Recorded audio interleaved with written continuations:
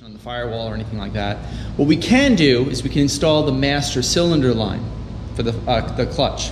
And the reason that we can do that is because now that we've removed all the brake stuff, that affords us the room that we need in order to route our master clutch cylinder down to the slave. And we're going to be using a hard line to do that and also a flex line. This one came from Garagistic. This one is meant for an E28, but we're going to adapt it for the E31.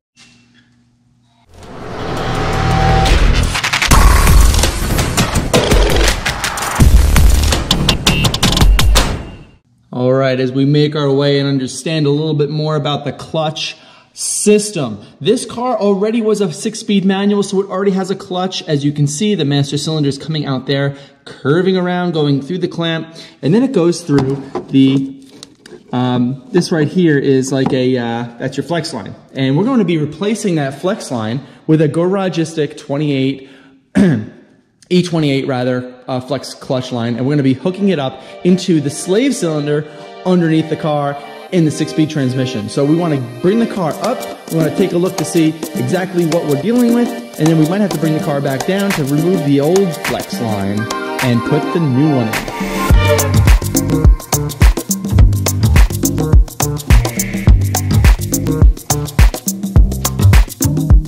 So we're doing here today, we're gonna be taking a look at the slave cylinder and the hard line and the flex line, the stainless steel line that's gonna end up going up to the master cylinder for the clutch system. I haven't done anything with this yet. I actually left the whole thing intact without removing anything. I actually kept the system closed because I just wanted to see where everything stretches and moves because if I can just replace with factory parts, then great, then I'll do that. But it doesn't appear that I can do that because of the location of the master, the slave cylinder rather, is a little bit further back than I'd like, and it would stretch the flex line. And I don't know, I feel comfortable with that. So I just need to figure out a way to clamp things in a way that makes the, that, that gives me the, the, the latitude that I need. Now let's take a look.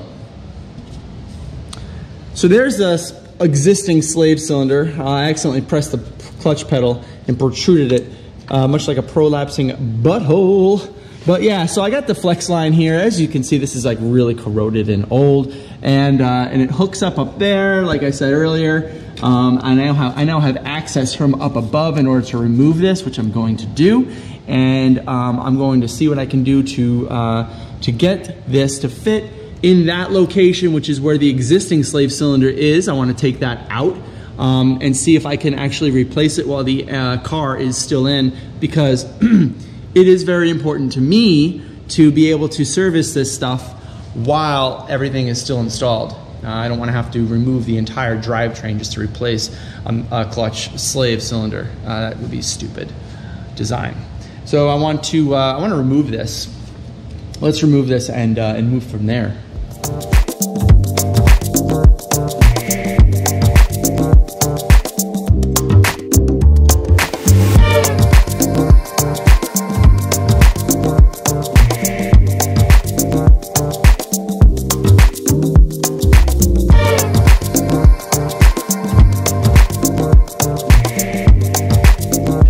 Right, so I'll try to keep this short.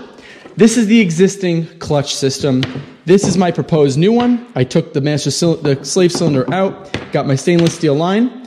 This here, from here over to here, is one continuous piece. I want to recreate this bend so that it, it installs in a factory location. That's what I'm going to use this for. And I also want to create at least some sort of a coil here from the slave cylinder to its mounting location, of which I'm going to repeat, uh, reuse this bracket as well. The, the reason for this coil is to prevent because when you when this thing gets hot and, and cold, it expands and contracts, and this coil allows for that room and and uh, the room to expand and contract as as this thing gets cycled and pressurized and everything. So to have this coil in here allows almost like a spring, it allows it to move in and out. So this is actually a good feature to have that I'd like to recreate on this swap.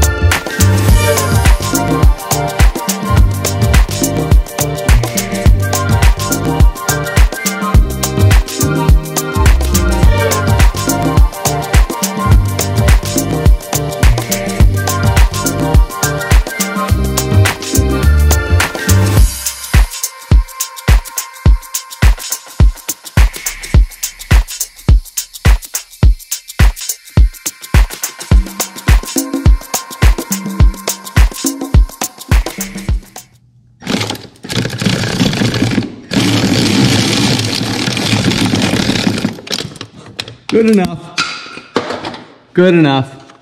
It's sitting in there.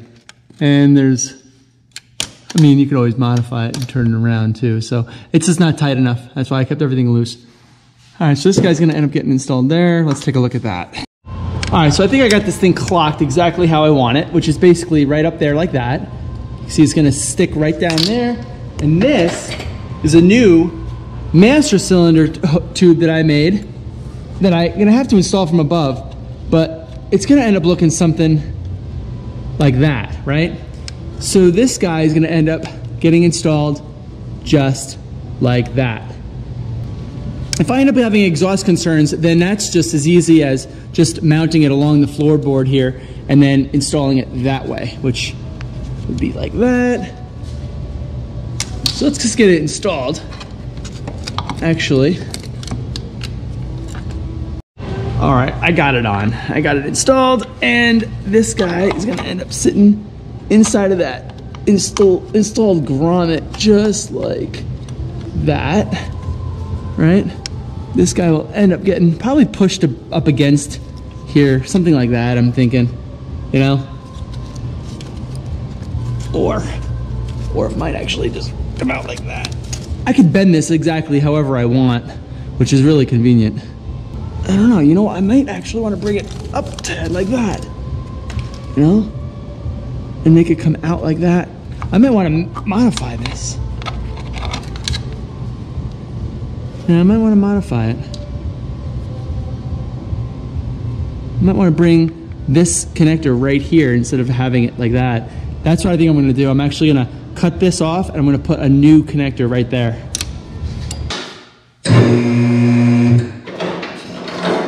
So while the car is coming down, I wanted to take a second to talk to you a little bit about what I did. All I did was shorten this puppy um, because too long is just as bad as too short, right? If it's too long, the flex line is not going to coil correctly. It's going to get in the way of other things. And in this case, I got the driver's side exhaust, and that cannot interfere. So I want to make it a little bit shorter so I have a really nice routing scheme for this. But before I uh, finally install this, I want to get this puppy installed from above. And then I'll come back underneath to do the final install and inspection.